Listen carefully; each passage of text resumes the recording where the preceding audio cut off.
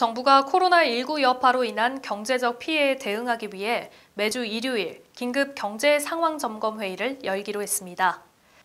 총리실은 어제 정세균 국무총리가 홍남기 경제부총리 등 관계부처 장관 등이 참석한 가운데 정부 서울청사에서 긴급 경제 상황 점검 회의를 주재하고 이 같은 내용을 포함한 민생경제 안정, 피해 분야 지원 방안 등을 논의했다고 밝혔습니다.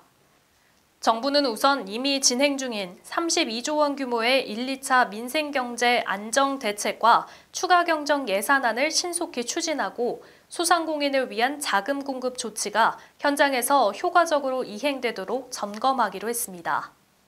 특히 해외 입국 제한 확대와 운항 중단 등으로 어려움이 커지고 있는 항공업계에 대한 추가 지원 방안을 곧 발표하는 등 코로나19로 인한 피해가 큰 관광업계를 집중적으로 지원하기로 결정했습니다.